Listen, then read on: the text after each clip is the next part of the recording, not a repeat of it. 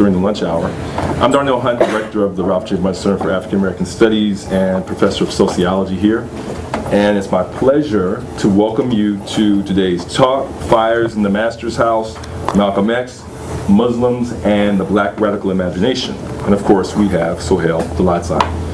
Uh, Sohail and I go a long way back, um, what, about 14, 15 years now? Oh man, you, ha you had to say it. Yeah, yeah. yeah.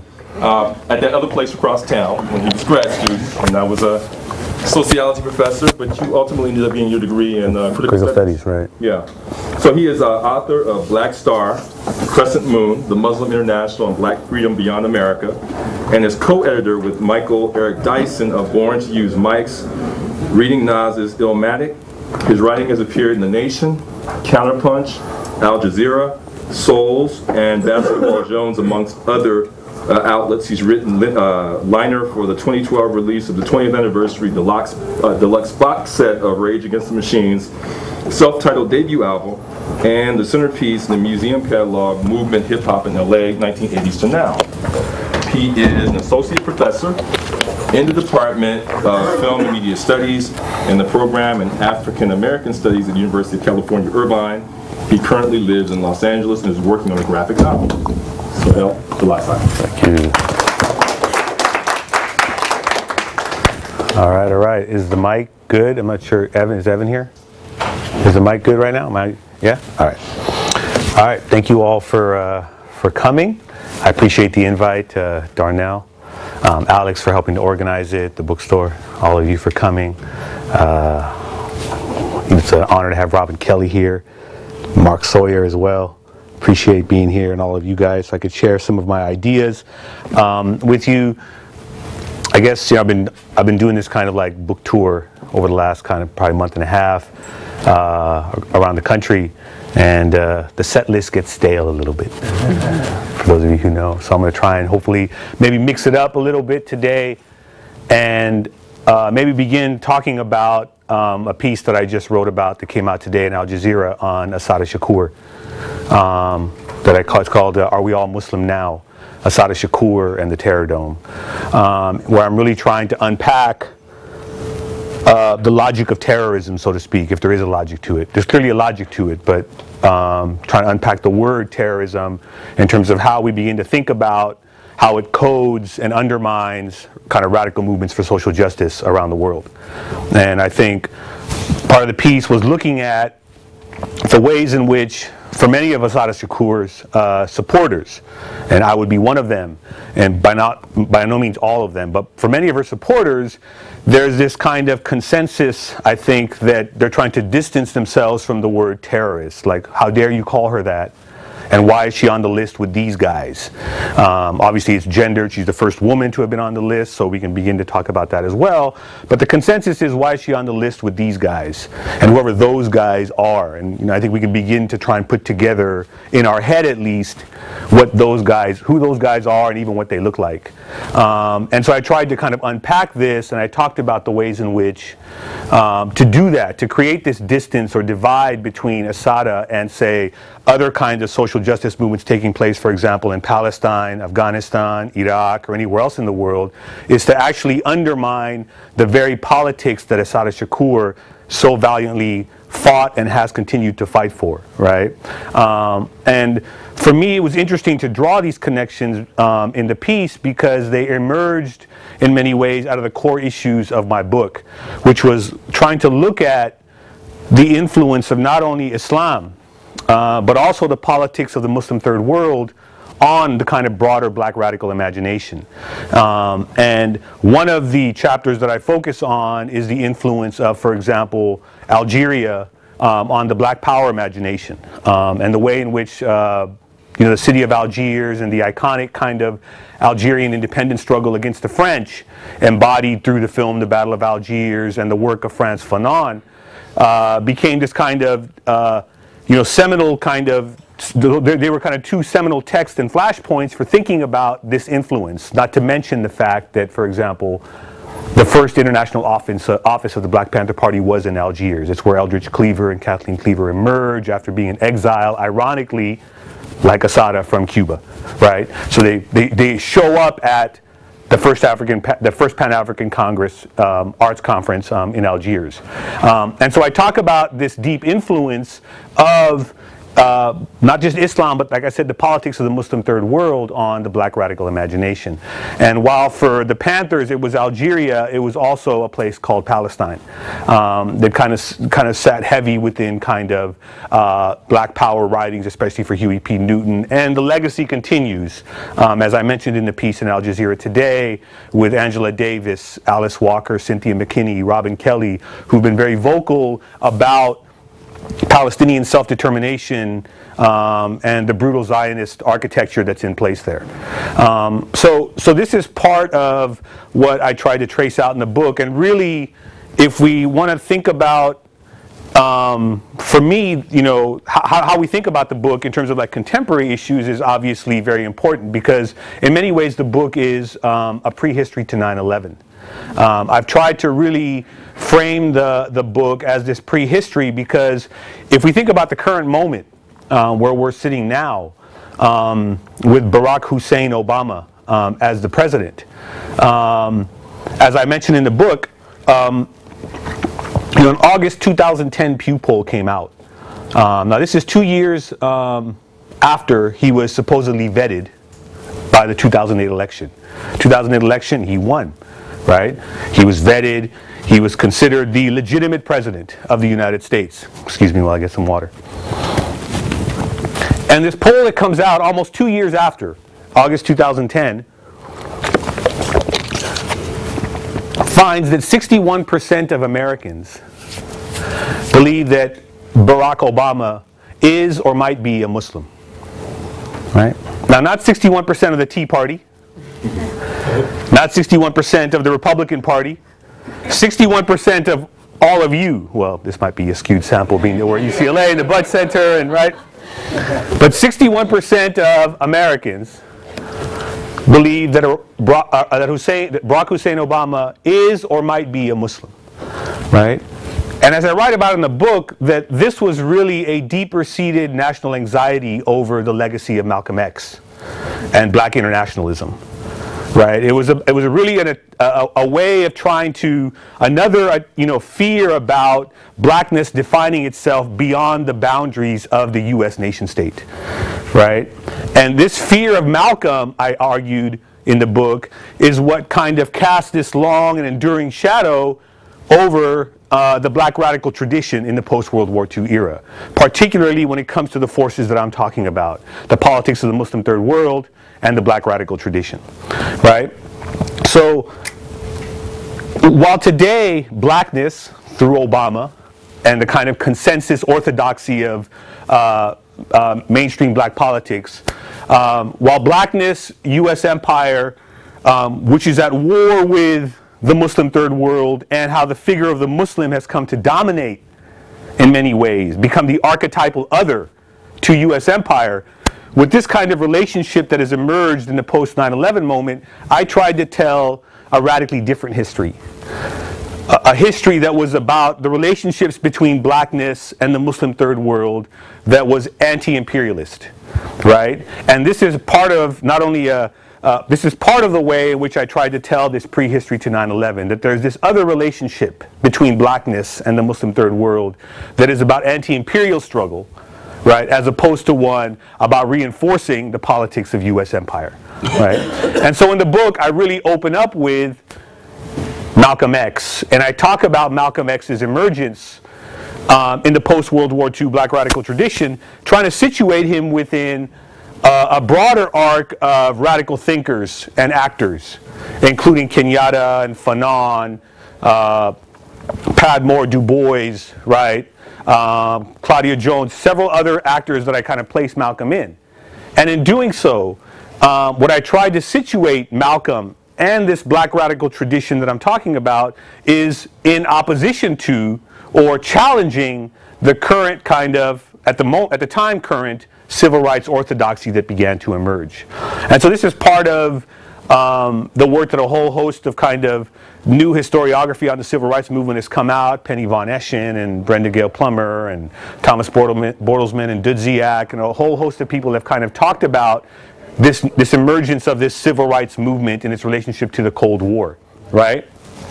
And it's a logic of civil rights that is very much with us today. Um, in fact, it's a logic that in many ways some argue and celebrate through the election of Obama. That is to say that Obama's presidency and his election is is a legitimation of this triumphalist civil rights narrative. Civil rights is what got Obama elected, right? It's part of this kind of narrative that civil rights put forth. Um, and I'll read from the beginning part of the book where I kind of frame that in a particular way. But if, if civil rights is what's being triumphed today and it's being celebrated today, as I argued in the beginning of the book, how did it emerge? What did it come out of, right? And it's important for us to think about that every time we hear about uh, appeals to pluralism, diversity, multiculturalism, we have to remember that they're historically specific, right? And they're rooted in very particular moments, right? So that today, when we think about appeals to multiculturalism and pluralism and colorblindness, it's specific to a particular moment in time, what people are now calling the post-racial, with the black president, et cetera, et cetera, et cetera, right? But the appeals to what has been called racial liberalism of the Cold War came out of a particular context too. They came out of a particular set of constraints um, and expectations and assumptions about the role and place of the United States in the world at large, right? And so, what were those constraints? What was that world view? What was taking place? And as I talk about in the book, and I'll mention very briefly, um, was this kind of post World War II moment where a kind of vibrant black left is asserting itself within kind of U.S. political culture in terms of the kinds of claims it's trying to make on social justice projects here in the United States for African Americans and their relationship to third world anti colonial struggles around the world. This is part of this new historiography that's been emerging, uh, that Robin and several others have been a central part of uncovering, if you will, so to speak, um, and making contemporary. Uh, but the relationship that this vibrant black left had to the third world and seeing white supremacy as a kind of global phenomenon, right? But something happens in 1947 called the Truman Doctrine and the declaration of the Cold War.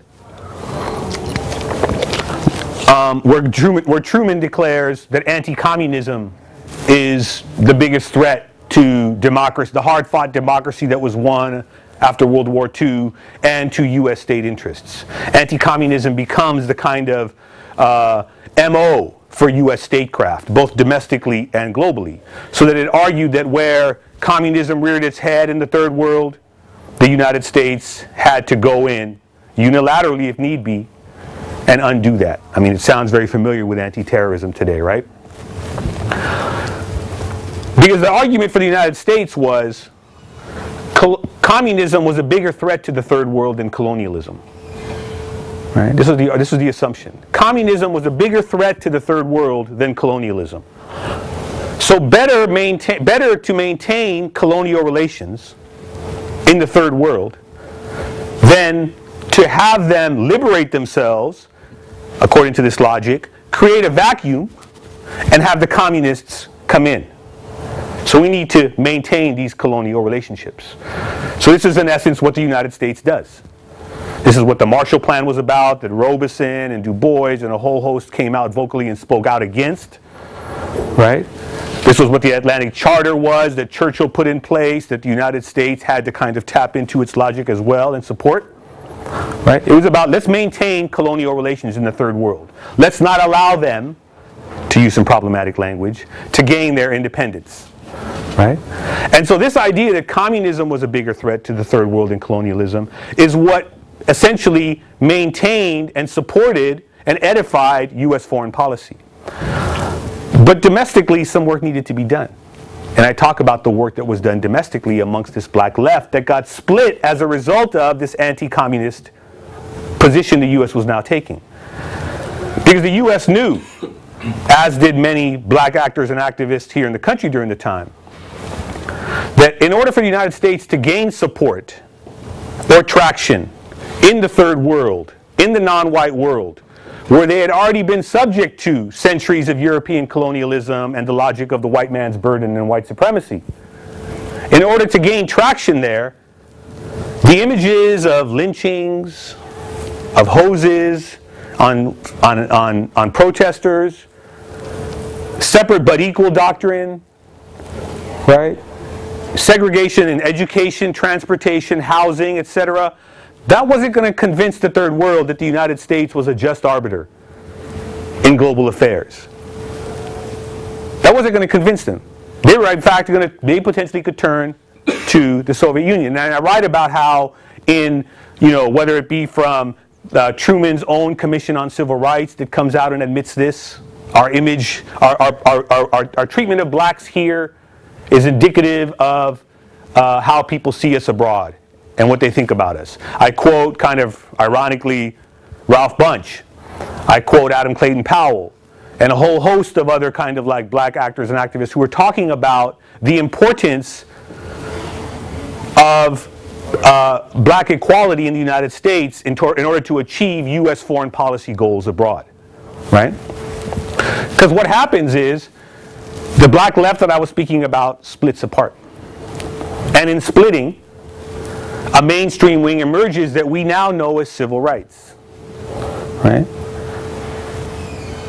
And, and I'm not here to argue that this splitting and the emergence of we, what we now call civil rights was kind of like, you know, the cop-out move or the sell-out move. What I'm here to suggest to you is that, you know, as, as the saying goes, don't hate the player, hate the game, right? What were the constraints that were in place that did not allow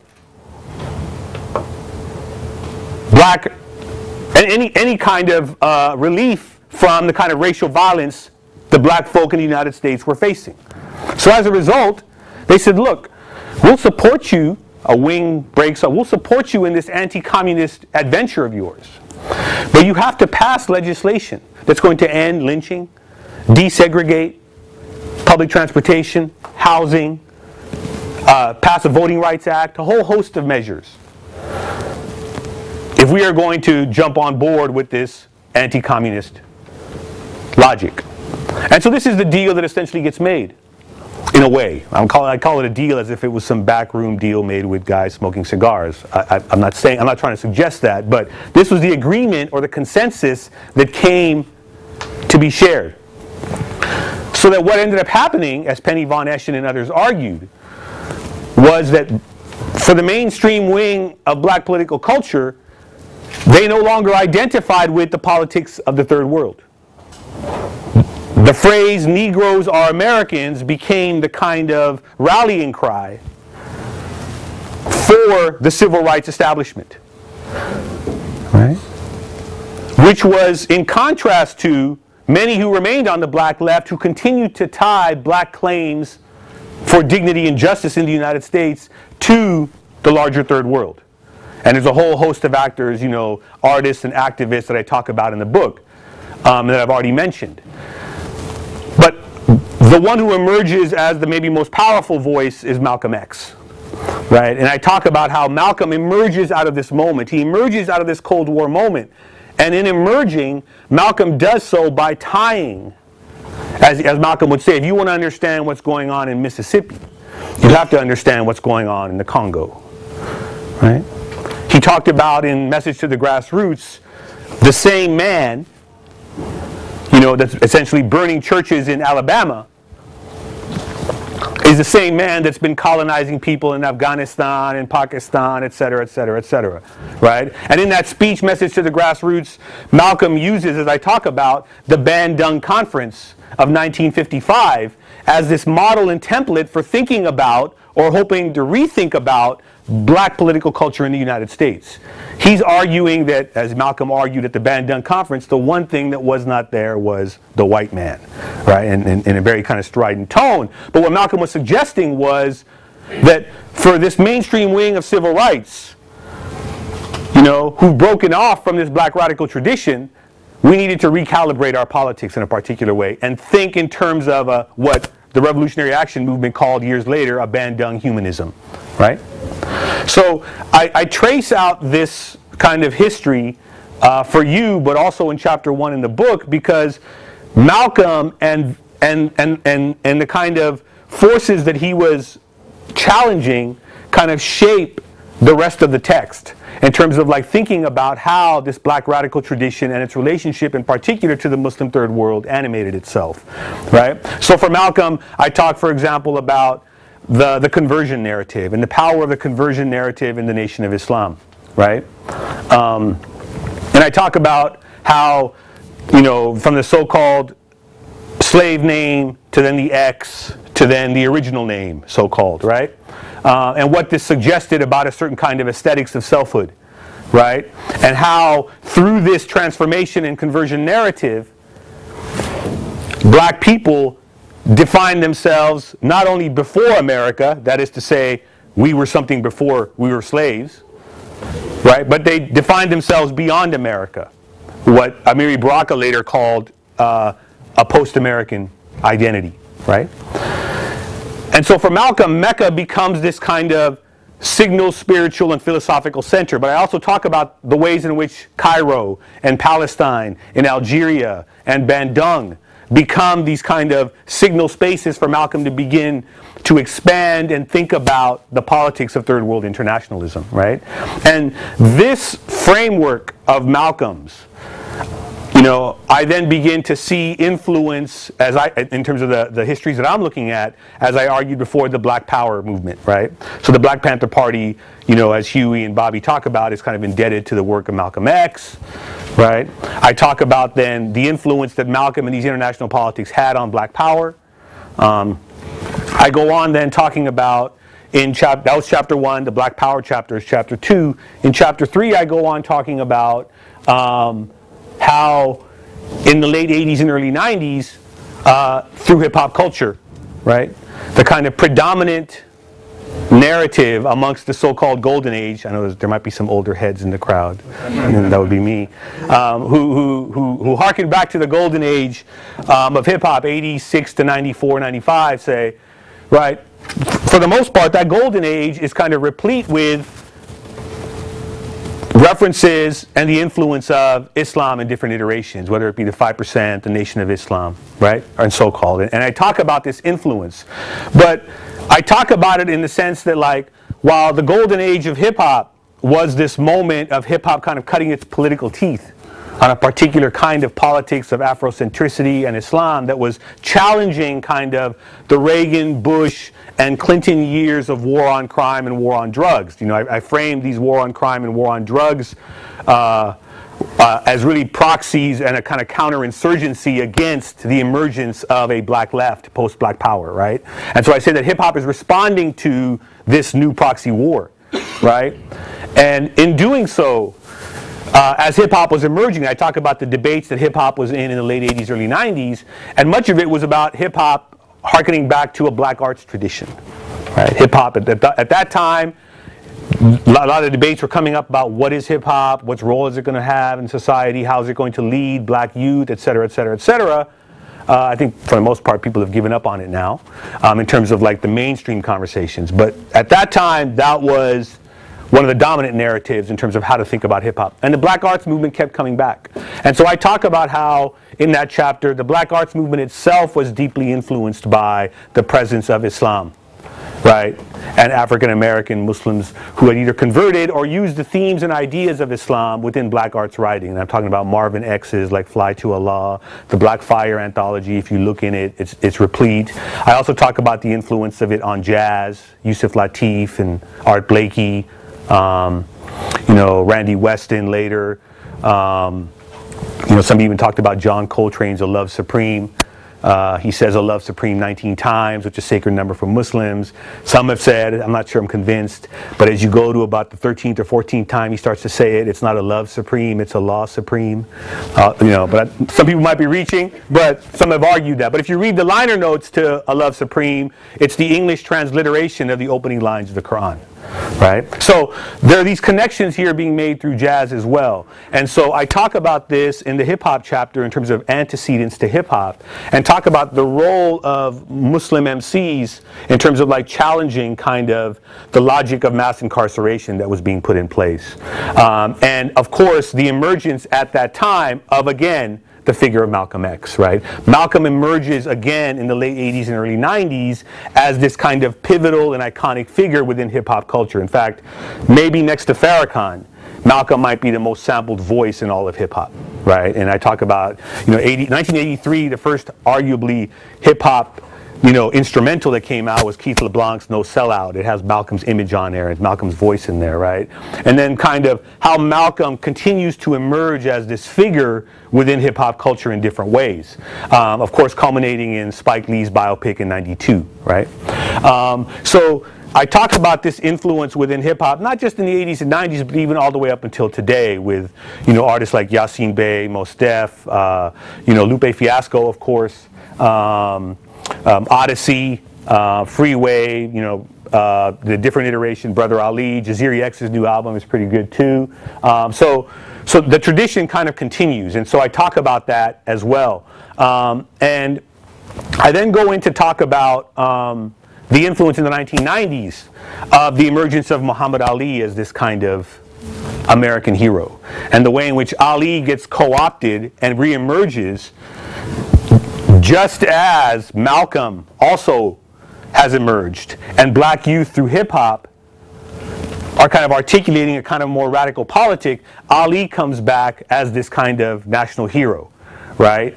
Um, and I talk about this in the context of the debates over the culture wars um, and how Ali comes to kind of uh, create this kind of redemptive narrative for the kind of post-Cold War civil rights narrative that emerges in the 1990s, right?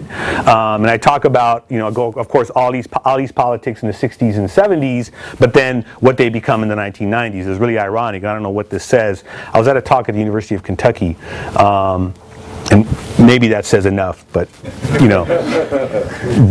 but I mentioned Muhammad Ali, and somebody said, wait, is he Muslim?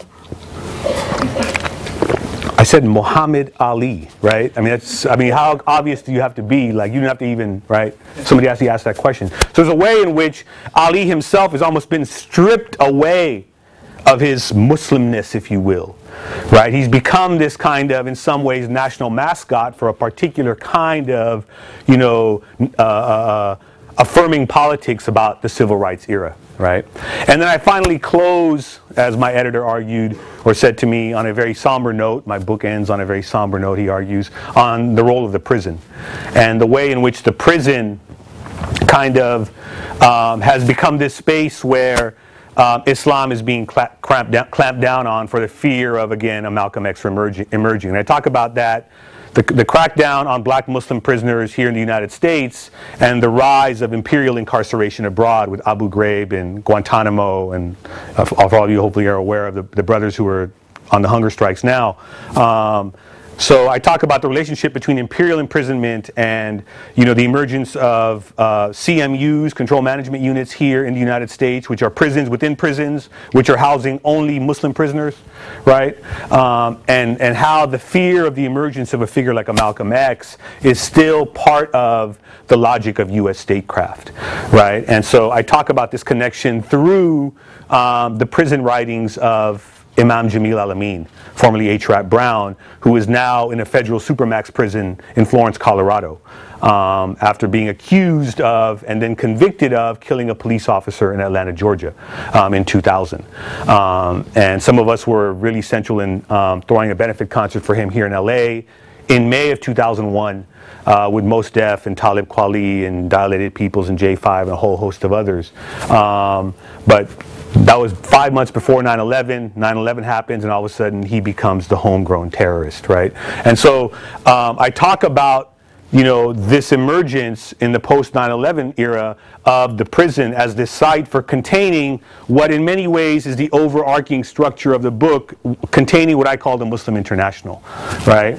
And this Muslim International becomes this kind of non national space that I talk about that borrows from a particular kind of left politics that becomes a space for both formal and informal politics to emerge um, arts, politics, culture, everyday forms of resistance um, that Rob Rabin and uh, writers like Asef Bayat have talked about, um, as well as kind of more formal and traditional and conventional forms of resistance, whether it be armed insurgency or attempts at kind of like achieving state power. So the Muslim International becomes this kind of arc for thinking through and thinking about these kinds of politics. Um, and so that's kind of the scope of the book. Um, in a nutshell, I'm sure there's hopefully there's a lot of questions um, that I could take, but uh, I appreciate you guys' time, and we can open up the floor for questions. Any questions? Amen. You mentioned uh, Sada. Mm-hmm. In her in her um autobiography, did she mention? Because I, I read the autobiography, but I don't know if she mentioned how she escaped from Clinton corrections. Did she? Did she ever mention that specifically in her book? Yeah, it was her brother. People can fill me in on the details, but it was her brother. doesn't mention Right. Yeah. Right. Yeah, for a reason. Yeah. And we're not here to give away secrets. Other people have put the pieces together Yeah. and I talked about it. how Right. she got out. Right. I didn't know how she got out for sure because Right. it, was vacant. Right, right. And if you think about it, I mean, you know, the first rap group to mention her was Public Enemy, although Chuck calls her uh, Chesimard. He doesn't call her Shakur. But maybe that's a coded sliding way of getting her in. But if you think about even Public Enemy's video, Black Steel in the Hour of Chaos, right, it's about a whole escape from prison narrative. It's very much about kind of Assata in a particular way. Yeah. I don't know if you want to say something more, Robin, to that? Oh, okay. Go ahead. So why would you say that they suddenly raised Assata and put it in the paper last Friday that she's on the list now after decades?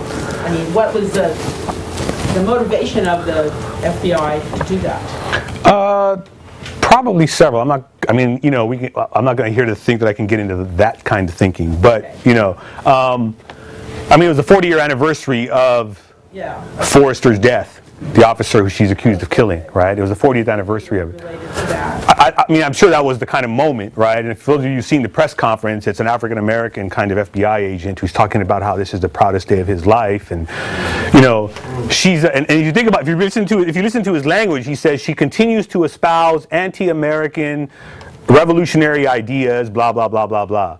She's a domestic terrorist who also happened to kill a cop. So she's a domestic terrorist for her ideas who also happened to kill a cop. Those are two separate things to them in a particular way, right? Um, and so I think it had to do with the 40th anniversary of, of, of the incident, right? But um, Something else that you said, though, that you, you, you- might have actually explained it. I mean, we're in the shadow of Guantanamo, Right. hunger strike. right. And she's in Cuba. Right, And for sure. And, and, and in the, at a moment when there's debates about the use of drones, Right, you know, who knows? right. And that's because Wh- there's- Which I, which I talked about in the piece. Like, is it far fetched now? I wrote a piece in Al Jazeera. I mean, I mentioned that. If is it far fetched that the U.S. would target do a target assassination on Assata Shakur in Cuba right now with a drone strike? Is it is it that far fetched? According to the assumptive logic of the war on terror and the logic of terrorism, they've already done this. They are doing it, right? So. According to this logic, would that happen? I'm not saying it would. I, I'm more skeptical that it would, but the logic would allow for it to happen, right? And not to mention, right, the material support for terrorism charge, right, which has gotten a whole host of young Muslim men locked up for the most part after being entrapped and on trumped up charges. FBI sting operation. Trevor Aaronson's book, The Terror Factory, really reveals this. It just came out. Right? But there's been a whole host of activism, including amongst hip hop, the Black August movement, for those of you who aren't familiar, in the late 90s, early 2000s. The Black August movement, Mos Def and Kweli and Dead Prez and Common, and a whole host of artists who went both to Havana and to South Africa.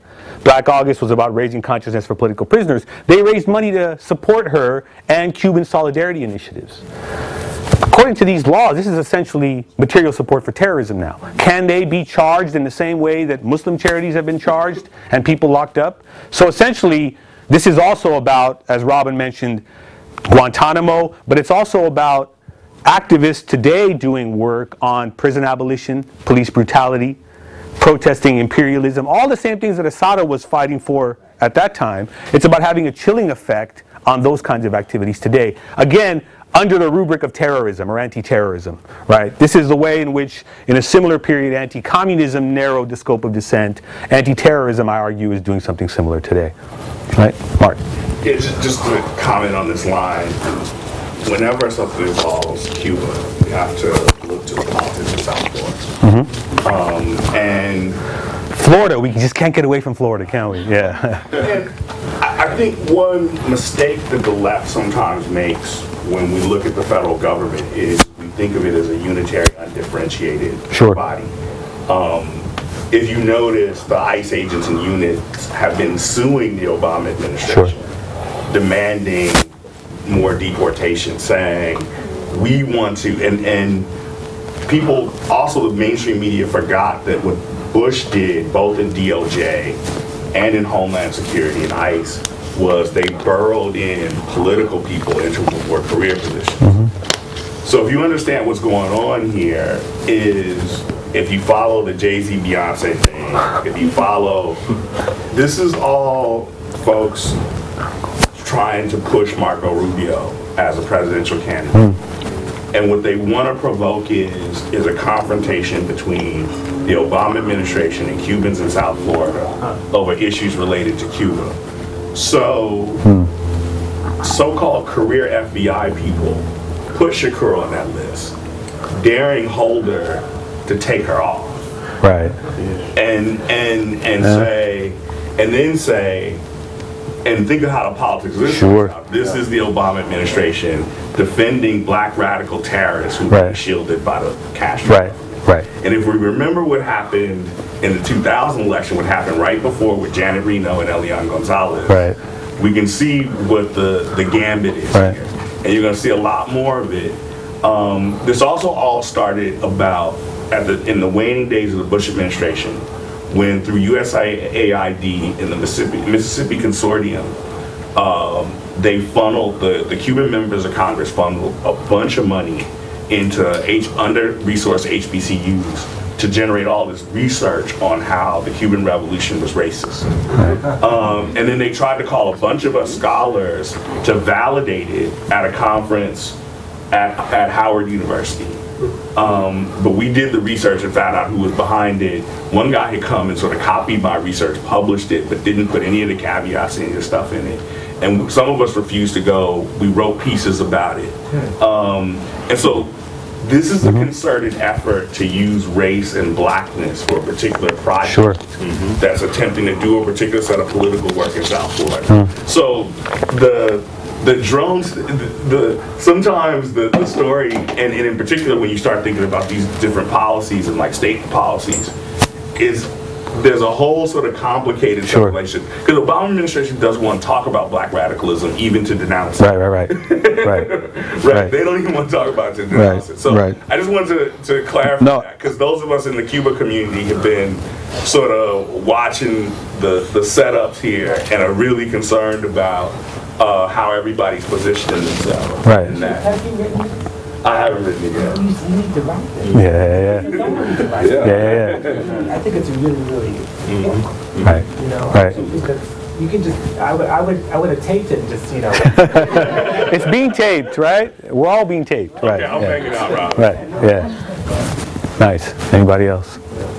Thank you for that, Mark. Yeah. Anybody else?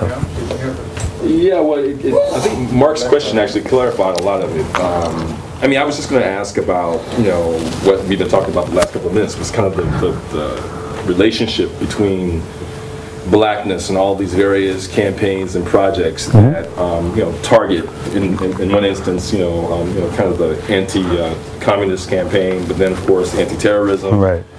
And you know, um, and you know, I was kind of struck by the, the point you were making about the, I guess the, the, the bargain that was kind of struck between the, the mainstream civil rights movement at a particular point and the nation state. You know, Right. in terms of you know, you know, uh, in, in, in kind of exchange for.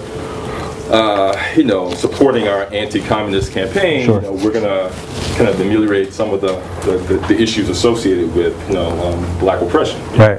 Right. in the civil rights movement and kind of the, the logical, I guess, culmination of that.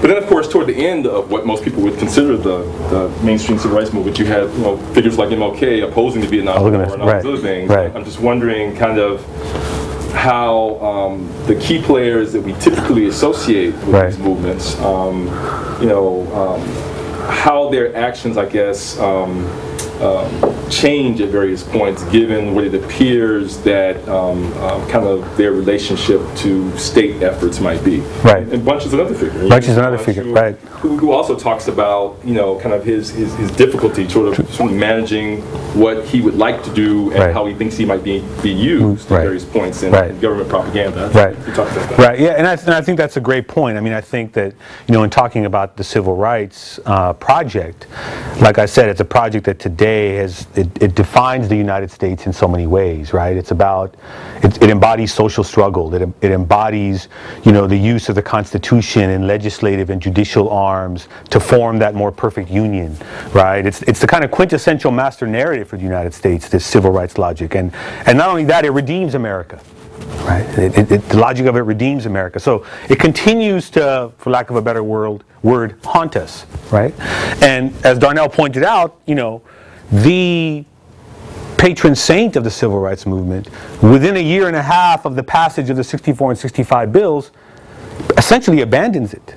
Dr. King, in his speech at the Riverside Church, you know, in 1967, April 3rd, 1967, right? If you haven't heard that speech, I try and hear it once a month just to get keep me going, right?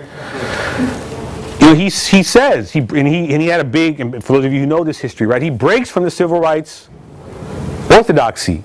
And he says in the speech, and, and all my advisors are telling me don't tie civil rights to Vietnam. Don't tie anti-imperialism to civil rights. Keep these realms separate, right?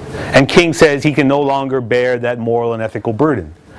And he argues, and, and this is where I disagree with a figure like with, with Marable's book on Malcolm. He argues, Marable argues that Malcolm became more like King, when in fact King became more like Malcolm. King argues that we have to now think beyond the nation in that Riverside speech. He says that, think beyond the nation right? He said we have to listen to those people that our government calls enemies or terrorists. They might have something to say about us. Because if we don't, as King dramatically stated, if we don't, America's tombstone will read Vietnam. Right?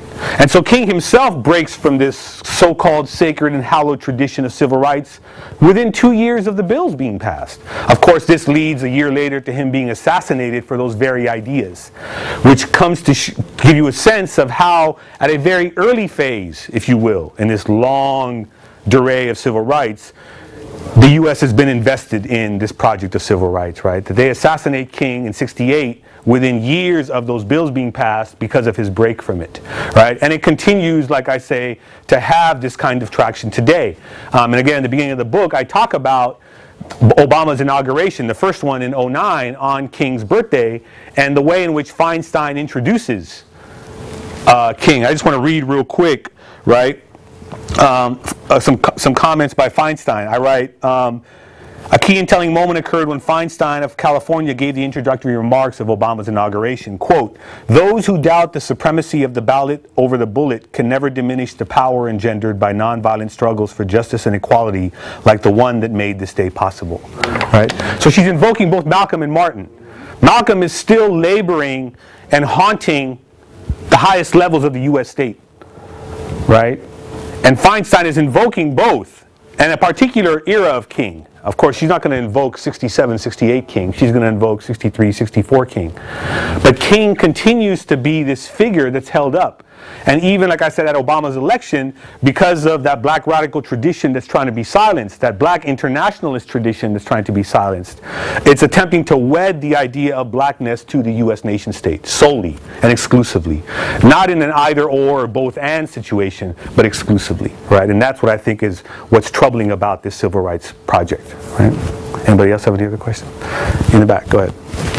Well, um, my name's Kate, I work with Revolution Books, I'm part of a movement for revolution now, and I just, I thought this point about the deal, because I actually think it probably was a backroom deal struck between go against the communists, because remember, China. Sure. China was the biggest thing that was, that's what, that's what brought the Panthers forward, and it changed everything in, in this country. I wouldn't be here, you know, if it weren't for the Panthers, but I think you gotta ask, how did it work out for people? I mean, capitalism doesn't even look good on fucking paper. You know what I mean? And it's like the real, the reality of what went on Right. under socialism Right. when it was socialist, before Right. the 76, is something that people Right. need to know about. Right. Because your point about prisons and what's happening in prisons and mass incarceration in this Sure. country, Sure. 2.4 million people in prison, Right. most people of color. Right. I don't think it's just a Malcolm figure. Right. I think they're afraid of the rebellion and the, and, and the kind of struggle that needs to go on against this Right. system. And I remember Attica. No, and I think you're right. I mean, I, and I think that like that's, you know, that issue of, you know, this is what many have been writing about. What what was gained 45, 50 years now after civil rights? As Michelle Alexander, right? More black men are in prison now than were enslaved in 1820. What are the what are the gaps between black wealth and white wealth? Black income and white income, educational attainment. What are those differences? Like so, if this deal was made, an argument could be made that if the deal was made and you got what you wanted, then it was worthwhile. That argument can be made. It might not be the most ethically sound argument, you know, in terms of dealing with white supremacy globally. But if you wanted to think along real realpolitik and the real pragmatic nature of how it goes down, you know, you could do that with that argument. But all the stats and facts tell us something radically different. And so the question then becomes why continue to buy into this logic? And I close that in the epilogue, primarily targeting the Muslim community, who after 9 11 have assumed this kind of Muslims are Americans too apologetic posture, right? That is not about critiquing white supremacy, US imperialism, et cetera, et cetera. That they're buying into this same civil rights framework at the expense of anti-imperial struggles and other popular people struggles taking place around the world, right? Just. Go ahead. Go. Well- So, um, you kind of acknowledged the importance of this question already when you started report. I was just sort of wondering, um, so when we talk about a politics beyond the nation state, when we're talking about a politics of solidarity and anti-imperialist politics, I'm kind of wondering, like, where are the moments of um, contradiction, right? Where, how do we paper over them? And specifically because you addressed gender already, and also, you know, class and race, and obviously we're talking about religion as well because you're talking about Islam. And to some extent, like, how do we, as a, um, I mean, I don't know if you identify as a historian, but like, how do, how does one talk about the contradictions, those moments of intersectionality where, you know, um, there are conflicts, and then are they are they intense? Is the solidarity intensified in those moments, or is it sort of, you know, is it overlooked? What happens? Hopefully not overlooked, if I understand your Well, question correct. It has been Right. right? I would, I would, really re- reject the idea that I'm a historian, especially with Right, I certain people in the room. Yeah, I'm, that's the I, I turned into one kind of by default, you know, with my own training. All of a sudden I was like, I'm a historian, I'm in archives.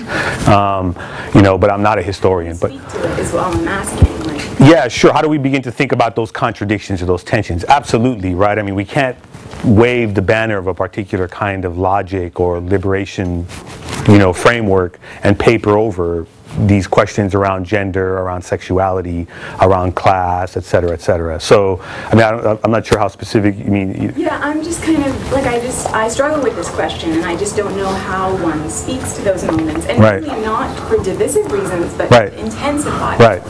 Right. Well, I mean, I think that those are the questions. I mean, there's a big debate now that's taking place. Um, I'll see you tonight, Robin. Yeah. Um, there's a big debate going on, you know, the big debate about pink washing in Israel, right, and what's going on, like, the way in which Israel's used kind of homophobia as this way of kind of further talking, further st- stigmatizing kind of issues around Palestine, right, um, as if to kind of take, take away, it's a way of kind of deflecting from questions of the occupation and et cetera, and it's become this kind of hotbed issue that there was a whole conference at CUNY recently that I was in New York uh, attending um, around how pink washing is being used as a way of kind of, uh, you know, uh, letting Zionism off the hook in a particular way.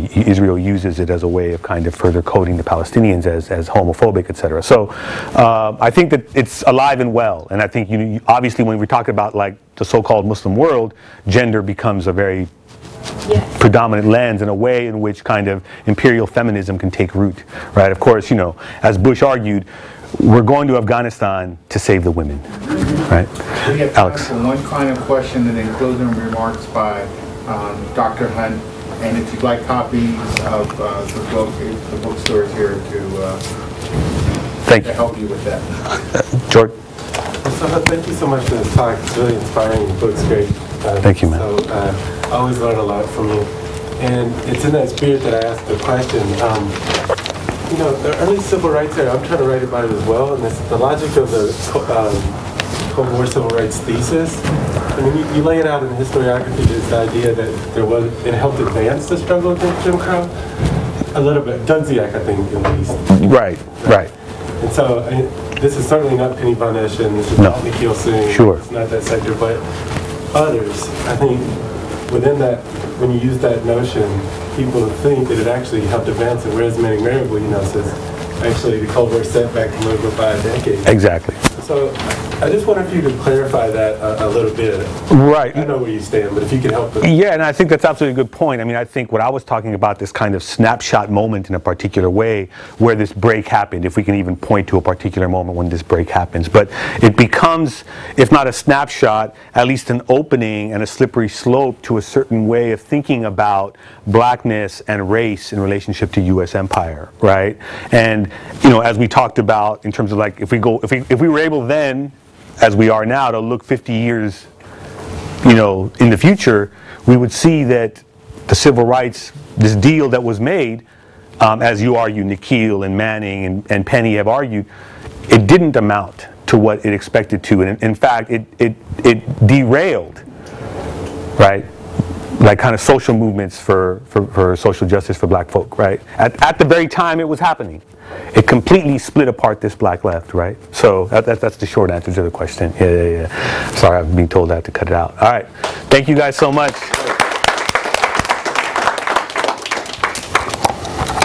Okay, thank you, Sohail, for a very uh, provocative. Thank you all for joining us with uh, questions and comments. Um, Just want to, before we go, make a few announcements about upcoming events we have here at the center. Um, Wednesday, May 15th, I believe that's next Wednesday, at 3 o'clock, here in this room.